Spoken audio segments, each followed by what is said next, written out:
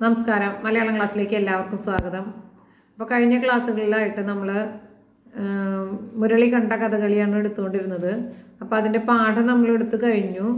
Notes ഞാൻ അയച്ചിട്ടുണ്ട്. അപ്പോൾ നിങ്ങളെല്ലാവരും അത് വേഗം വേഗം എഴുതിയെടുക്കുക. ഒറ്റയടിക്ക് എഴുതി തീർക്കണ്ട.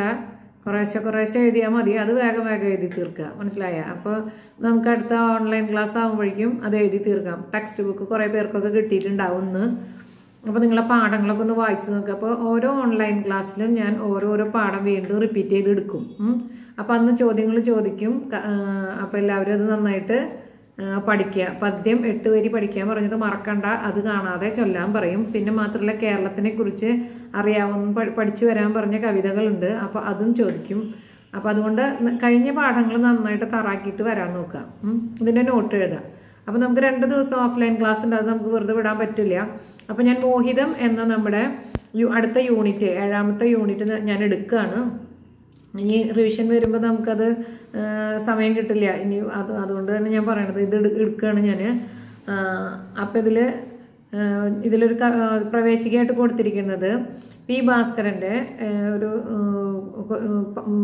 മലയാളത്തിലെ ഒരു പാട്ടിന്റെ നാല് വരി ആദ്യത്തെ നാല് വരിയാണ് കൊടുത്തിരിക്കുന്നത്. അപ്പോൾ ഞാനതൊന്ന് പാടാം. നിങ്ങളത് ശരിക്കും കേട്ടോ. അപ്പോൾ നിങ്ങൾക്ക് അറിയാം പാട്ട് എങ്ങനെയാണെന്നുള്ളത് ഇതിപ്പോൾ ഞാൻ പാടണം നോക്കണ്ട.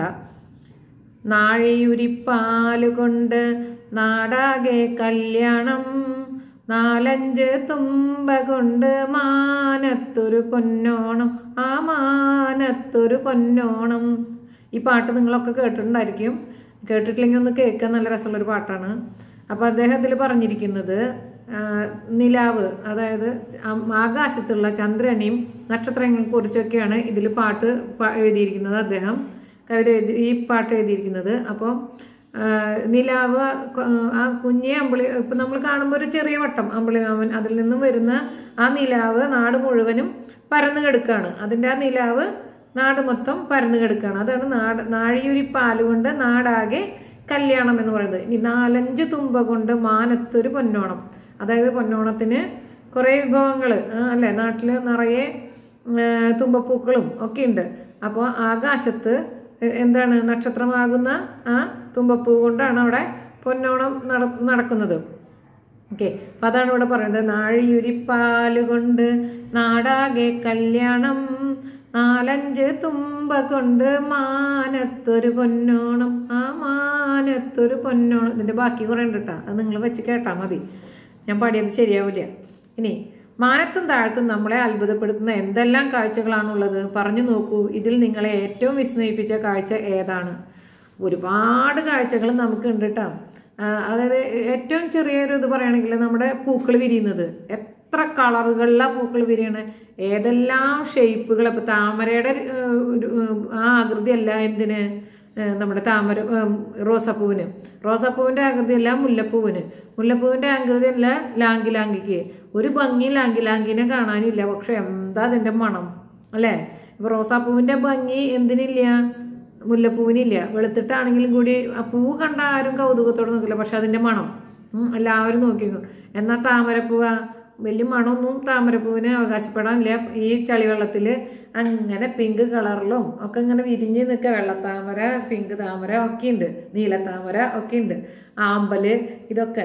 അപ്പോൾ ആ പൂവിന്റെ കാര്യം. പിന്നെയാണെങ്കിൽ പൂമ്പാറ്റകൾ പൂമ്പാറ്റകളെ. കണ്ടു കഴിഞ്ഞാലെങ്കിൽ കുഞ്ഞ് പൂമ്പാറ്റകൾ എത്ര പല കളറുകളിലാണല്ലേ എത്ര തരത്തിൽ നിറങ്ങളിലാണത്?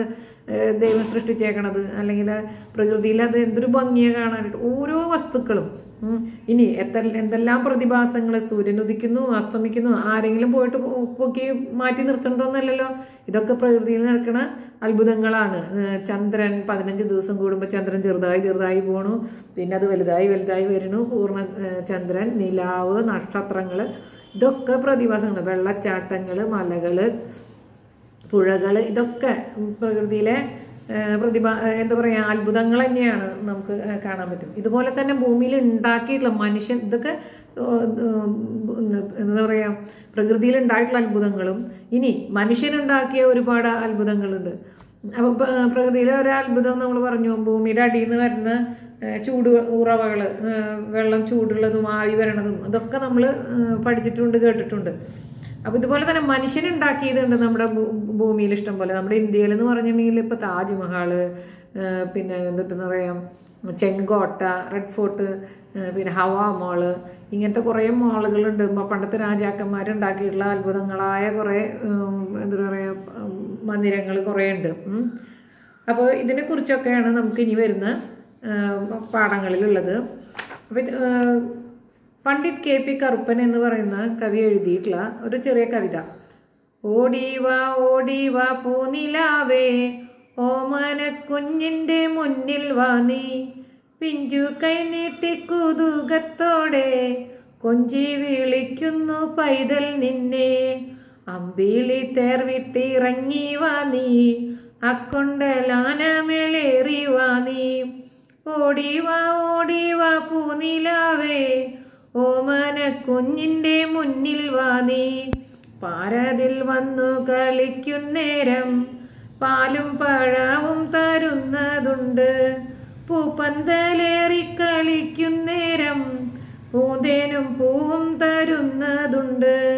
വിണ്ണിൽ നിന്നമ്പിളി കൊച്ചമ്മാമൻ കണ്ണാടിയൊന്നു കൊടുത്തയക്കും തുമ്പപ്പൂ കണ്ടിട്ടു തുല്ലു ചൊല്ലും തൂവാല ഇങ്ങു കൊടുത്തയക്കും ഓടിവാ ഓടിവാ പൂനിലാവേ ഓമന കുഞ്ഞിന്റെ മുന്നിൽ വാ നീ. അപ്പോൾ അദ്ദേഹം അതായത് ഈ K P Pandit K P Karuppan എന്ന് പറയുന്ന കവി അദ്ദേഹം ഈ കുഞ്ഞിന്റെ അടുത്തേക്ക് പൂനിലാവിനോട് ആകാശത്തുള്ള നിലാവിനോട് വരാൻ പറയാണ്. അത് കുഞ്ഞ് കൗതുകത്തോടു കൂടി നോക്കി നിൽക്കുകയാണ് ആകാശത്തെ ചന്ദ്രനെയും നക്ഷത്രത്തിനെയും നക്ഷത്രങ്ങളെയും ആ നിലാവും ഒക്കെ ഏഹ് അപ്പൊ പറയാണ് ഓടിവാ ഓടിവാ പൂനിലാവേ. പൂനിലാവേ നീ ഇങ്ങോട്ട് ഓടിവാ കുഞ്ഞിൻ ഓമന കുഞ്ഞിന്റെ മുന്നിൽ വാ. ഈ കുട്ടിയുടെ മുന്നിലേക്ക് വന്ന് വായോ നീയേ. പിഞ്ചുകൈ നീട്ടി കുതുകത്തോടെ കൊഞ്ചി വിളിക്കുന്നു പൈതൽ നിന്നെ. കുട്ടി നിന്നോട് വരാൻ പറയാണ് പൈതൽ കുഞ്ഞ്. നമ്മൾ പഠിച്ചു. പൈതലിന് പൈതൽ എന്താ പറയണേ? കുഞ്ഞ് അതിന്റെ കുഞ്ഞു കൈ നീട്ടിയിട്ട് പിഞ്ചു കൈ കുഞ്ഞി കുഞ്ഞി കൈ നീട്ടിയിട്ട് കൗതുകത്തോട് കൂടിയിട്ട് കുതുകത്തോടെ കൊഞ്ചി വിളിക്കുന്നു പൈതൽ നിന്നെ കൊഞ്ചി വിളിക്കുന്നുണ്ട് നിന്നെ. അപ്പോൾ നീ ഇങ്ങോട്ട് വായോ? അമ്പിളി തേർ വിട്ടി ഇറങ്ങി വാ നീ. അതായത് അമ്പിളി എന്ന രഥത്തിലാണ് ആ നിലാവ് പോയിക്കൊണ്ടിരിക്കുന്നത് അവിടെ അവിടുന്ന് അത് വിട്ടിട്ട് ഇങ്ങോട്ട് വായോ? അക്കൊണ്ട് ആനമേലേറി നീ കൊണ്ടല്ല വെച്ചാൽ കാർമേഘം. കാർമേഘമാകുന്ന ആ ആനപ്പുറത്ത് കയറിയിട്ട് വായോ? ഏറി വാ കയറി വായോ? നീ ഓടി ഓടി വായോ? പൂനിലാവേ ഓടി വാ ഓടി വാ പൂനിലാവേ. ഓമാന കുഞ്ഞിന്റെ മുന്നിൽ വാ നീ. നീ പാരതിൽ വന്നു കളിക്കുന്നേരം പാരെന്ന് വെച്ചാൽ ഭൂമി. ഭൂമിയിൽ വന്ന് കളിക്കുന്ന നേരത്ത് എന്തൊക്കെ തരാം? പാലും പഴവും തരുന്നതുണ്ട്.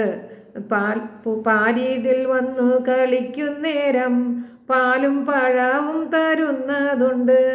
പൂപ്പന്തലേറി കളിക്കുന്നേരം പൂന്തേനും പൂവും തരുന്നതുണ്ട്. അപ്പൊ ഭൂമിയിൽ വന്ന് കളിക്കുകയാണെങ്കിൽ നിനക്ക് പാലും പഴവും പിന്നെ പൂപ്പന്തലും കയറി കളിക്കുമ്പോൾ എന്താണ്? തേനും പൂമ്പും ഒക്കെ തരുന്നുണ്ട്.